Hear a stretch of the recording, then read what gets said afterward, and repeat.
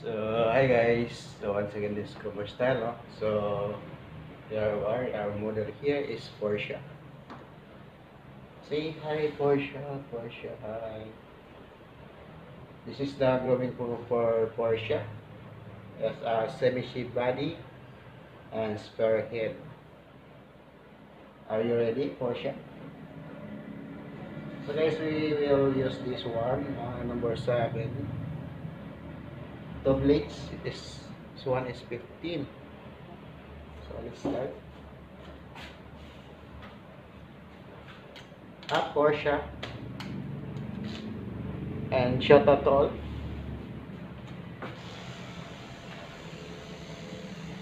Porsche na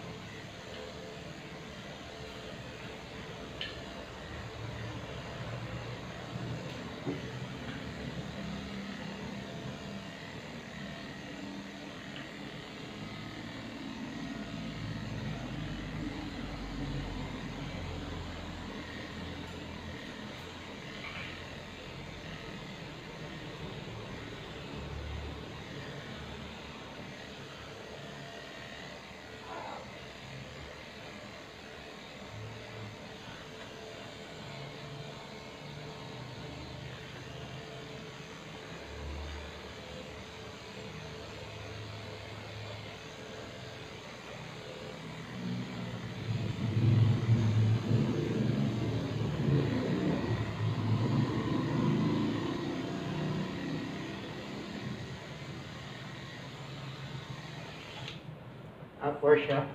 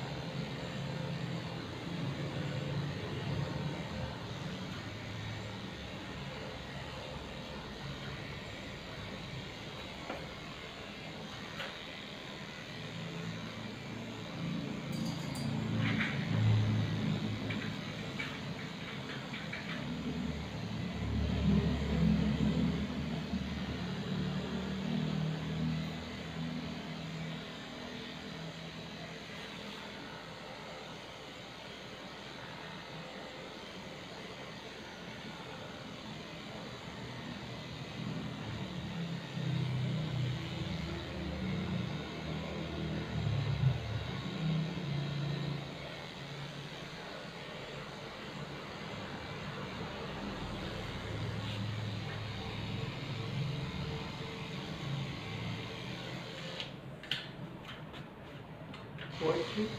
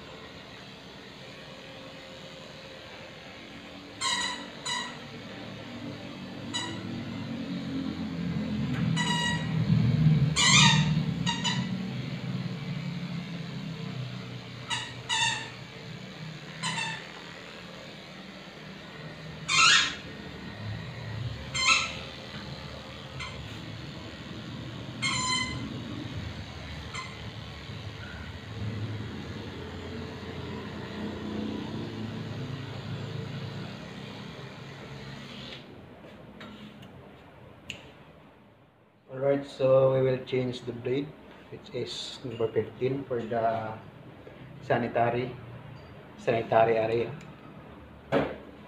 This one.